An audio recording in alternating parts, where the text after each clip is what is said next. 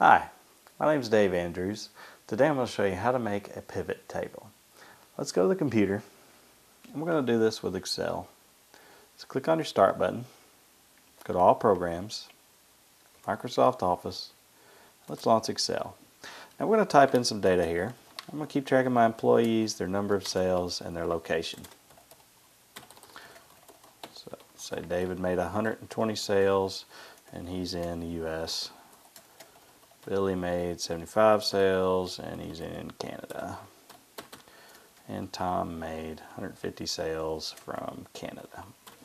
So, what we're going to do is insert a pivot table which gives you a whole lot of options for filtering uh, and sorting data within Excel. So let's highlight all of our data here. I'm just dragging the mouse to highlight over it. And to create our pivot table, go to the Insert tab at the top. We're going to select pivot table. Now it's going to make sure that your uh, data that you've selected is correct. Since I manually selected the range of data I'd like to include, I'm just going to click OK here. Now it's going to ask you which uh, fields do you want to include in your pivot table. I want to include all of them. So I'm going to put little check marks uh, next to employee, sales, and location.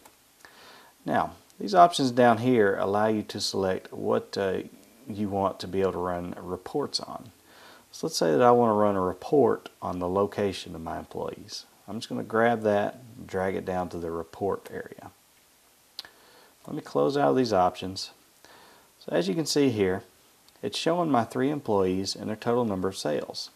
The location is missing because that's our report filter. Here is location. Let's say I only, so, only want to see the sales for Canada. I'll just click this little drop down, select Canada, I'll say OK.